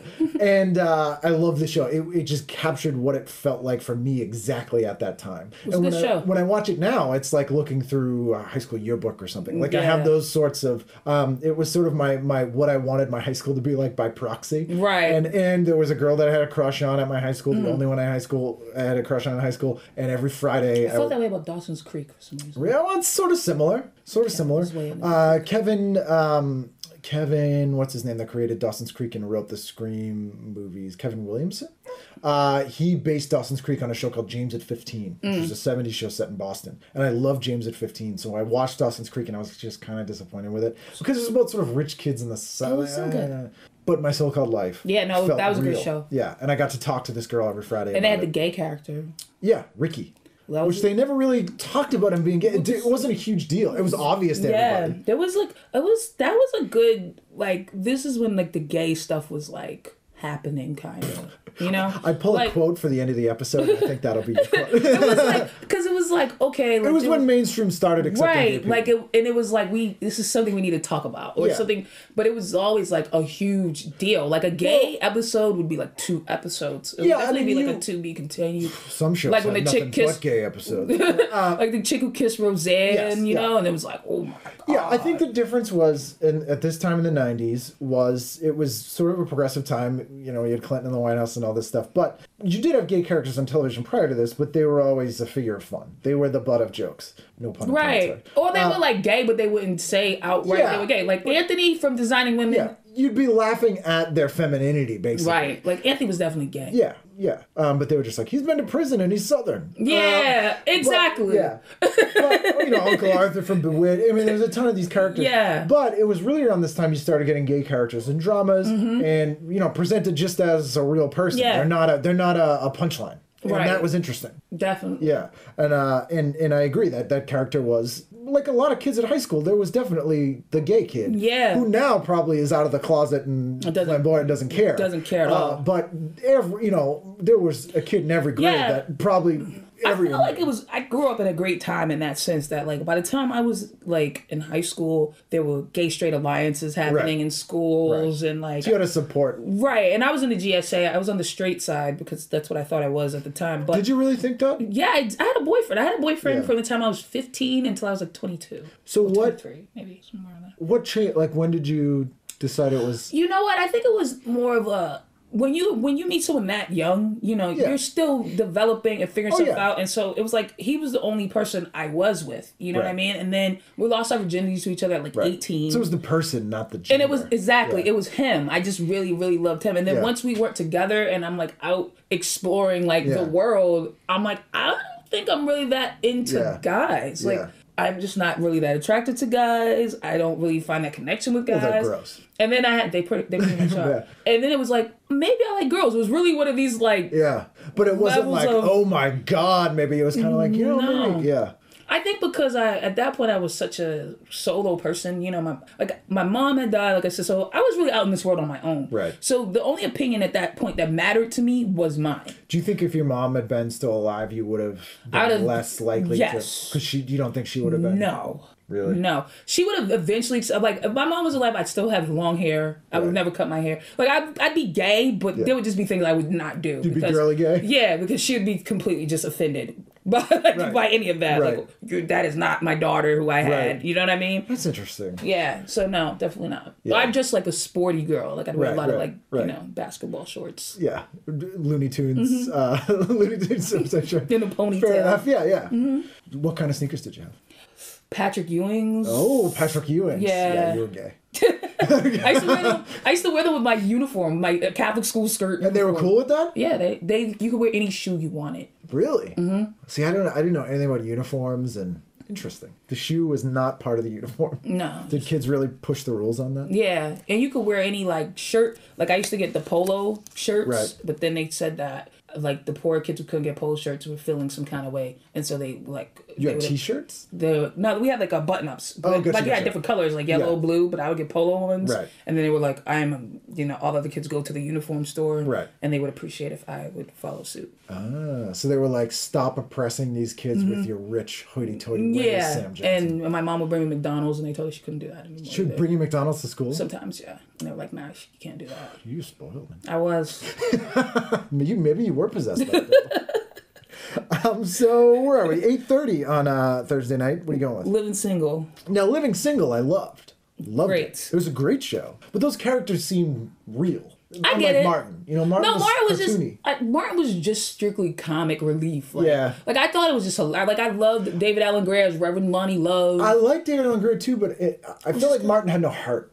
Could see That's that. what bothered me. I could see that. It had no heart. It seemed like a very superficial show. I could see that. And Living Single, I was like, these people are friends. This makes sense. Their relationships make sense. Mm-hmm. and going along with the other choices you've made, I Yeah. could see why you would need that in yeah, the show. yeah. I I think if something was just purely comedic, Whereas I liked Home Improvement, so you can see why I Yes, don't yes, need that sense. You in don't show. need that. And Living Single, and I still contend, I still contend that Living Single was ripped off by NBC, who made Friends, which is Yeah. White Living Single. That is Yeah. all it is. And you know what? Now we're back to being friends, Ken, because I agree. yeah, it's a complete rip off of Mm-hmm. It Living is. Single. It's not as good as Living Single in any way, Yeah, and it never right, got the isn't. audience that Living Single got. And Living Single was a better show. Yeah, it was. It was a quality better- show. And Yeah. I do miss that time in television where like Fox was perpetuating like quality black shows. But I think it wasn't by design. I think it was because no one else was. Yeah. they saw a market they could make money. Right. but but even like even now, there's even back then with movies. I just felt like even the black movies that were coming out were like better. You know, even now it's like Yeah. you get like a lot of like I don't know, just Soul Plane. Yeah, Yeah. exactly. Yeah. And it's just it's like the the it was like they were really I think we've gone backwards in a lot of ways. Right. I think I think in the seventies you had well, it actually goes back to the nineteen thirties. You had these movies called race movies Mm. that were all black cast movies. And some of them were good because no one was like Carmen and stuff like that. uh, new like you had westerns with all Mm. black casts. You had this movie called The Bronze Buckaroo. You had pretty much any genre, but with all black actors. Mm-hmm. And to a degree, some of the movies ended up being great because they were also sort of produced by black people Right. for a black audience, and so it was um, you know we're just making good movies. And then once you started getting into like the 70s black exploitation, a lot of those were made by white people with an all black cast. And it was Mm-hmm. Here's what we think black audiences want. Want. And then you have people who grow up on that and it becomes what they want. Exactly. So you kind of had people that grew up with that in the 70s. And it That's was how I felt about BET. yeah, it It's was like. BET was a good channel when Bob Johnson owned it. Yeah. And you had like Teen Summit and you had Yeah. programming It was that smart. it was smart. Yeah. And then MTV bought it and they were like, This is what black Here's people what you like. want. Yeah. and it's like, no, like there's no more BET News. They took that But away. the problem is, Like- I think that if you do that long enough, it does become what Right, that's what I'm saying. And now it's like, yeah, this is what we want. Yeah. But it's like because the option Well, in the '90s, you had, I mean, like Poetic Justice, you had, uh, you know, John Singleton and Yeah. the Hughes brothers, and all these amazing black uh, directors Mm-hmm. and writers. And Spike Lee, I never, he was always pretty clownish, uh, Right. but you know, was one of the first guys that sort of set that Mm-hmm. path. Uh, going, but you had them making serious, interesting movies. Right. And then I think the thing that sort of started to change that was like the Friday movies. Mm-hmm. And you started seeing it switch with like Friday and Yeah, but- Barbershop. it, was, weird with some of the stuff that, yeah, because I'm like Friday was such a good movie. the first one. The first one, yeah. The first, ah, we can get in on this. well, it Friday starts After to Next. slide, Friday After Next is pretty amazing. but it starts to slide. Friday After Next is pretty amazing. It might be my favorite Friday. Yeah. Um, But it was still funny, you know, and it was good. But and it you can like, see the the Yeah. tone shift if you Yeah. watch them. Like that's a good example of something coming out of that '90s wave. Like you had a movie called um, called uh, Tales from the Hood. yeah, which was- terrible. But it was it was, was good. good. It was well made. I, I was mean, you know, scared. like horror stuff. Yeah, but I it was was a smart movie. I was scared of the uh, the, the one with the dolls. Yes, yeah, yeah, yeah, the vo- little voodoo dolls. Yeah. Mm-hmm. You had like Fear of a Black Hat and CB4, which were like Spinal Tap. Right. Really funny, smart movies. Um, and like Hollywood Shuffle and all these things. dope. And then you get like White Girls. Yeah. And Soul Plane. Right. And Little Man. Right, and then Madea like takes over. And uh, it was just terrible. They're terrible. They're I awful. totally agree. And it's like, why? Why are we bothering with this? I don't know, and that's the, that's what stinks. But I think what happened at Fox then was they said, "Hey, look, we don't. We need to be a network different from the other three networks. Mm-hmm. We also don't have a lot of money, so a lot of people got a chance to do something interesting. Right. And you had shows created by and starring black people Yeah. that weren't sort of being run by a person who says, "Here's the black show I would like." And you got stuff like Roc, and you got stuff like Living Single. And I think it's also this idea, like with, uh, I mean, we can we're talking about this a lot, but I think it's also this idea of, um, like people kind of like age out and aren't doing the work, and it's Yeah. just like this whole like letting one black person at a time do stuff. Right. So it's like you know what I mean. We're, we're only gonna do Once these. that person's gone, Right, someone else gets Because I'm it. thinking like, oh, like we had Boomerang, we had this, we had that, but I'm like, damn, so much of that stuff Eddie Murphy was behind. yeah, and he had his own production company, and yeah. boom. You know what I'm Yeah. saying? So I think that plays a role in it too. Yeah, you have less people being the tastemakers. It's like if Adam Sandler was the only white guy making stuff. Right. Basically, you would be like, oh no. Right, Yeah, exactly. Yeah, because I mean, Little Man's just as bad Yeah, that's what I'm saying. And, but we have like who, like two or three people that are making things now. It's Yeah. like the Wayans and Tyler Perry. So if, if you're not being filtered through one of these two, Yeah. either Yeah. through him producing it, backing it, or Right. writing it, then it's like, Yeah, and you wonder why there, there's less opportunities because those are established people, and even Tyler Perry sort of established himself in the mid '90s. Right. So, you know, when's who's the new person? Right, There's not right. Mm-hmm. been anyone to come take the mantle of that stuff, and, and you know, I wish there wasn't a mantle. It would just get stuff. But I mean, you know, I, I think there's less stuff being made generally, and there's less risks being taken. Right. So they're making things that they think will make money. Yep. And because Soul Plane made money, they're gonna make yeah, Soul it's like Plane if we go or- and wa- yeah. and we support it, then Yeah, yeah. yeah. But Living Single, great show. This was awesome show. Um, Loved everything about it. Oh, I absolutely did too, and I watched it the whole time. Great, com- great comedic timing with Overton and um, anybody he would really interact with. But it was It was such a good ensemble cast. Yeah. Like it was a really great ensemble cast. And on the Thursday night in '94, it was directly against Friends. Mm. It was up against Friends. And I remember I watched it every week, and kids would watch Friends. And on Friday, I was like, "You're dumb." no one agreed with me. No one agreed with me. Uh, so nine o'clock, would you go with? New York undercover. Really? Did you watch this every week? Yes. So, this is after a popular college student is killed. Williams and Torres discover that the deceased had been selling marijuana and had also a juvenile record.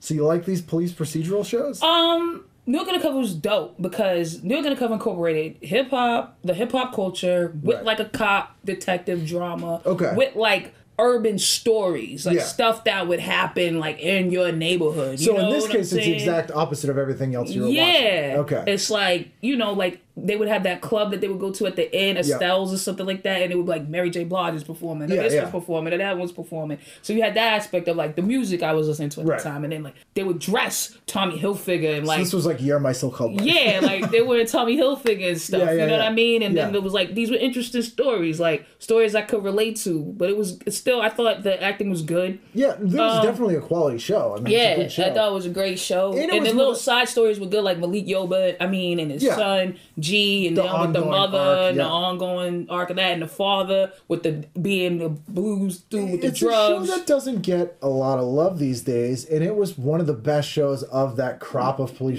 procedurals. Yeah. That now everyone's like, uh, you know, um, uh, homicide and uh, Law and Order. They all kind of started around the same time, and I do think New York Undercover was probably the best. Right, of those and the shows. intros were always dope. Like the beginning was always hard. It would be like the music, crime, would, the- yeah. yeah. the music would be ill, Yeah, and yeah. you just see like a footstep in a puddle, Right, right, right. like something drop on the ground. You're like, oh, Yeah, it's gonna Yeah. be crazy. And again, a show that had a very of its time aesthetic, but in a good way. Yeah. it makes it not seem as dated. Yeah, weirdly. it was it was dope. I remember one um episode Torres had a Tommy Hilfiger shirt that I had. Definitely wore that to school the next. I definitely Yeah. wore that to school the next Did day. anyone was like? everyone was like, "Oh, you "You're got the Torres!" Oh, yo. really? So everybody at school watched it. yeah, Fair enough. Uh, I would have watched Seinfeld. Far this is from New great. York We're just we're just Yeah. on like opposite sides. well, Seinfeld you could probably call New York overcover. Our Thursdays are like Oh yeah, they're very different. Yeah. Well, no, we're watching Living Single. We are are. both watching Living Single. Uh, this one, Kramer fears a golf dispute has pushed his opponent to murder. George gets no credit for buying Elaine's lunch. Jerry dates a woman whom Newman rejected. You know what's absolutely hilarious about like I love Seinfeld, right? But it's another show I didn't start watching until I was older. Right. But we had this friend, my friend uh, Anthony Schofield, right? We lived, we all you know lived in the same neighborhood, and he would constantly talk about how hilarious Seinfeld was. Right. And he'd be like, "You guys don't watch Seinfeld? You're so dumb. Like it's Right, right. great." And we'd be like, "Yo, who's? It's New York Undercover Hour. Like Yeah, everybody in the neighborhood is on one accord. Yeah. We watch New York Undercover. Like no one's watching Seinfeld. And one day we were out playing basketball, and he was like, "I dip my head in oil and rub it all over the body." And we were like, "What are you talking about?" quoting Seinfeld. And he was like, George Costanza, Seinfeld. We were like, yo, what? And then when I got older, I got into it. I was like, oh no, he's right. This show's absolutely Yeah, great. it is good. I mean, I do think it doesn't hold up as well. It's a really dated show. It's like one of the most 90s shows. Yeah. When I tried to rewatch it as an adult, I'm you like, know what? "Mm, I couldn't. I tried to last week. I was like, oh, I'm about to just watch Mad Seinfeld. as- I had smoked a J, and I was like, this is gonna be great. And I was just like, I don't really care. Yeah, yeah, no, I don't think you're wrong. I was like, Uh, so 9:30, you're still watching. You're still watching this. to Uh, 10. I would watch Madman of the People, which was Dabney Coleman's uh, yet another failed attempt at a sitcom for Dabney Coleman. Um, good show, good show. And at at 10, I definitely would watch ER. Love. I watched ER for like the first eight seasons every single week. I knew it. it was a thing, but I wasn't watching it. Fair enough. Uh, Friday night, the final night of the week, eight Friday. o'clock. What are you going with? I have four letters T G I F. That's all I'm doing. I don't need to turn the channel. You're locked into ABC. That's it. TGIF. So eight o'clock, you're watching Family Matters, Of course. a show that I liked the first two seasons, and by the time it became the Urkel show, absolutely despised. no, love it. See, I couldn't stand What it. is wrong with you? Well, 'cause like, here's the who thing. doesn't like Stefan Urquelle? That was the worst. That So here's my problem with it. The show started No, as a good blue collar sitcom about a family. This is your thing. You like these uh these core family. Yeah, yeah. I mean, it's a show about a family, and the, after the end of the first season, the stupid neighbor comes in, and now the show becomes about this nerdy black kid and who invents a time machine and a body swapping machine, and it, on. oh, it's just. Stefan Urquelle. Oh, but here's the other thing about Stefan Urquelle that really bothered me. Jaleel White is a nerd. He's a nerdy dude. And so he would go on every single TV show he could go on and be like, well, it's a character and I'm not really like that at all. So it's so funny that I'm Urkel because it's totally not like me, which is not true. And then he made them make the Stefan Urquelle character so that he could be like, this is like the real me. It's Oh, he kind of a forced joke." it? Yeah. Oh, it still was great. I was all about Stefan Urquelle. This one is the conclusion of a two-parter. Uh, unwilling to go on as Stefan Urquelle, Yep. Steve is intent on changing back into his old self, whether it pleases Laura, Laura or not. And I'm definitely watching this one. Like I was waiting all week for this. It's like Oh. what I'm doing. I'm waiting all week for the conclusion of the Stefan Urquelle. I mean, I drama. understand. because a part of me wanted Stefan to stay. Right. But a part of me was like, nah, man, you gotta be Urkel, man. You gotta be yourself, so man. annoying. Urkel was so great. annoying. I couldn't stand him. Couldn't stand. Like I wanted Mr. Winslow to just. And I belt was so glad when he got Myra. I was so happy for him. I was like, uh, yeah, she's dope. She's she's got better. big boobs. So you're a hater. so you're saying you're saying that Urkel could do better than Laura. I am. That's what you're saying. I am. I'm hating from the opposite side of the fence. Jeez, jeez, fair enough. I would have gone with Baywatch. Absolutely Baywatch. I knew it was a thing. Baywatch was a hilarious show. uh, it's about lifeguards doing stuff. Yeah. In this one, Mitch learns that his captors plan to kill him whether or not he saves Brady. And Stephanie investigates a diving, in quotes, accident involving the fiance of her sister. That beach was crazy, man. A lot of crazy stuff going on at that beach. Yeah, absolutely upset. Uh, so 8.30, you're going with Boy Meets World. Of course. So this episode uh, is a frustrated Cory consults his brother to on his quest to find a date. Let's talk about boy. First of all, Ben will never be Fred. I'm just gonna put that Fred's out there. better. Fred's Fred better. is He's always better. gonna be better. Have you seen Little Monsters? That Yes, and he was in it, Yeah, and- they're both in that. Fred's just better. For some reason, whenever I hear the name Brian, I can't not repeat it in the same way that Ben Savage says Brian in Little Monsters. Like when he's all groggy, he goes, Brian. like anyone's like, oh, my name's Brian. I it takes every bit of my being to not go, Brian. No I- one would know.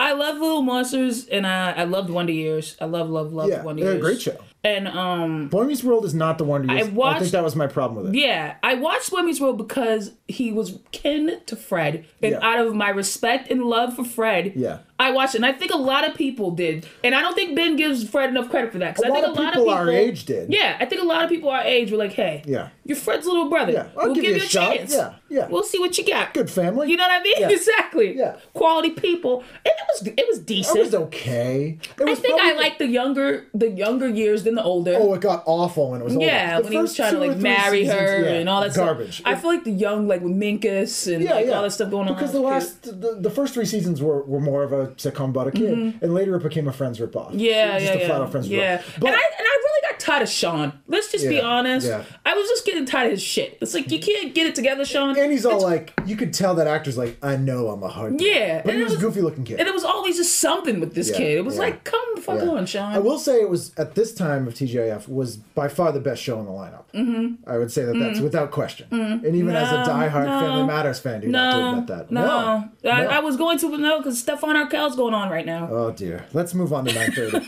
Let's uh, nine o'clock. Let's just move on to nine o'clock. We're gonna have to agree to disagree. Step by step. yeah, I'm watching it. I like Cody. it. Oh, someone told me that. What's wrong with you? First of all, someone I told like Cody. in eighth grade. Someone told me that I reminded them of Cody. oh, that's not good. Not good. Uh, JT goes on a spending spree. JT, I like yeah, JT. With his first credit card, and a professor teaches Dana a lesson in humanity when I like he all grades of an them. English paper. I like Dana. I like Dana. I like Cody. I like JT. I No. like the dad. Dana's the only one I like. I'm into the whole show. Cody living in the van. I like Staci Keanan. I would have been watching X Files. There's no question about it. Too scared. Yeah. See, I Too loved scared. it. I loved it. Can And I tell you my- such oh. a good X Files episode. Can I, yes. Yeah, I got an X Files story. All right, so I'm freaked out by aliens. Yeah. Do you believe It's in aliens? I do, but in a weird. I don't know. It's Outer like space, not illegal. yeah. Okay. And it's and it's uh yeah.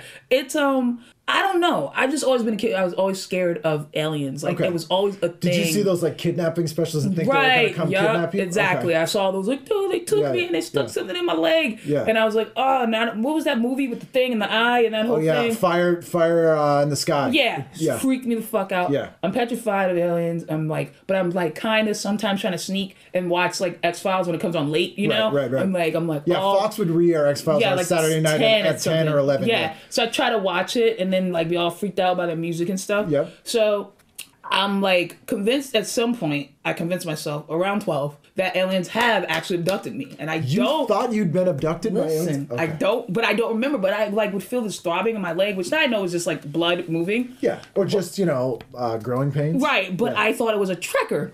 So I convinced myself that I'm, I'm being tracked by these aliens, and I'm like, I'm not even really sleeping at night because I'm like, oh my god, they're gonna come back Right. and like do more stuff. Yeah, yeah, yeah. And uh, my mom used to have these parties, and um, I had Tupperware parties. like all my aunts would come over, drink wine, Oh, okay, and yeah. you know whatever.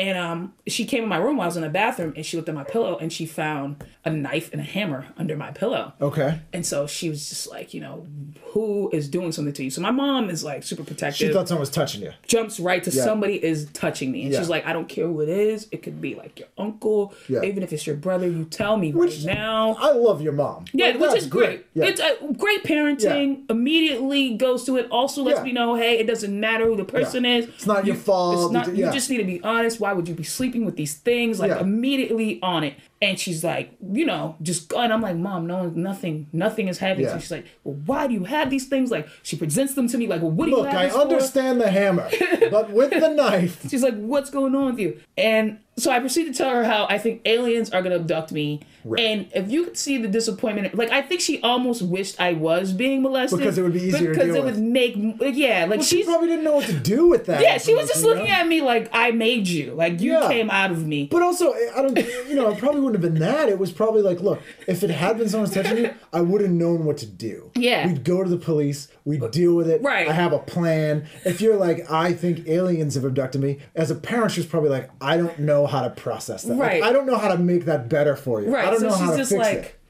When did you realize that they hadn't? Well, the next day when I woke up, my TV was gone. She took my TV out of my room in the middle of the night, and she left me a note basically saying until I can you know, tell the difference between reality and Well, I think that's fair. Television, Like, so clearly I need to take TV. a break from the television. For Do you a know while. a specific show that made you think It was that? just a lot of combinations. I mean, it was big at the things. time. Yeah, It was like on there would talk be little shows. right. Yeah. There was talk shows about it, and there'd be Yeah. little like little side Yeah. specials about Oh yeah, it, and like autopsy and History. Channel's just Yeah. like, yeah, they've been here 17 times in the last Yeah, 20 years, and like it was just a lot of stuff. So she took the TV out, and then you go, oh, I guess you're right. yeah, she takes the TV out, and I'm like, maybe I'm crazy. I gotta. Wa- was that the year you took off from 90210? maybe that's the year. so then I gotta take a It was break. enforced. It was enforced. Well, there was that alien abduction plot on 90210. Well, X Files that night is a small town is rocked by a series of sudden violent killing sprees by individual residents who are killed by police when they refuse to halt their actions.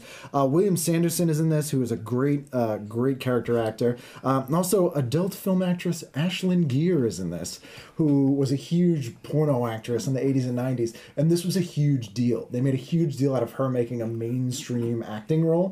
And she actually is a, pretty good actress. And she was in one other non-pornographic role, which was a which was a, uh, a horror movie called uh, Creepozoids, which is not a great movie. But I remember at this time when this episode aired, there was like Entertainment Tonight stories and all this stuff about how this woman was gonna break through and and be a legit actress, and then it just never happened. It doesn't Never happened. ever happen really for them. Well, Traci Lords kind of did. Yeah. Yeah. Yeah. Um, but yeah, I mean, it, it- she's good in this episode. She's very, very good. This is a really great episode of X Files. No aliens. Uh, no. Mm. Sometimes they weren't aliens. yeah, there was Those other were scary easier things. to. There was those were easier to deal with. Fair enough. Uh, Pete the dog is yelling at us. So nine thirty, you're going with Hang on, Mr. Cooper. Yep. I like that show. I like that show. I liked Mark Curry. Um, Holly Mm-hmm. So, wait, Robinson I'm was watching- my favorite though. Step Did by we step. skip nine? Oh no, step by step. Yeah, Yeah, step by steps at nine. Yeah, him, Mr. Cooper. This yeah. is when Mark learns that Nicole is doing a fifth grade bully's homework. He wants to teach the kid a lesson, but it's Geneva who tr- closes the book on the subject. I like Geneva. She Yeah. didn't take no mess. No, of course not. Mm-hmm. Yeah, I liked Holly Robinson because I was a Yeah, big fan of she Twenty was. One Jump Yeah, she was cute. Yeah, Uh, I liked Mark Curry. yeah, yeah. He was a funny stand-up. He's one of those That's to people. say, he was a funny stand-up. I was one of remember him from that I- Yeah, I would see him. He would stand out on a Yeah. show that I would see him. on. Yeah, I like Mark absolutely. Curry. So that was good. Well, Sam, we're at the end of our week. Yeah. And as you know, TV Guide is not just informative, it cheers and it jeers. It has opinions.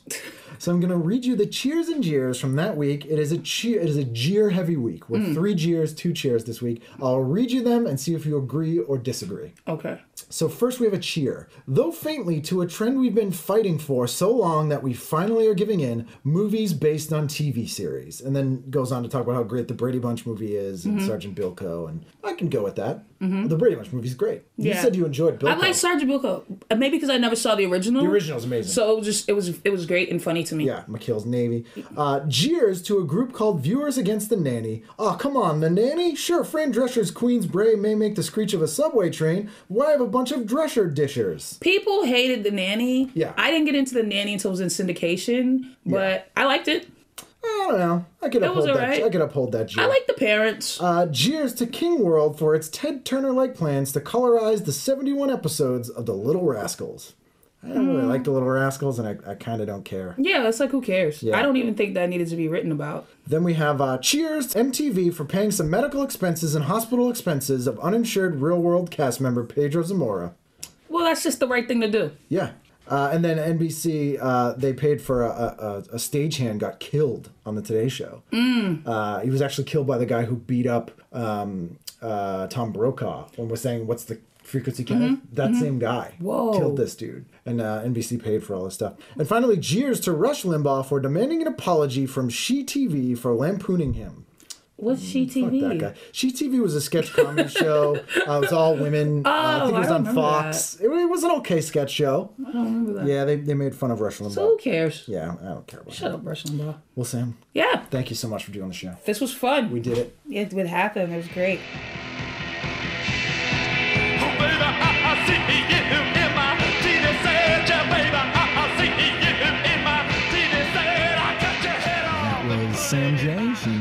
Not be possessed by the devil and may or may not have been abducted. by aliens. The world will never know.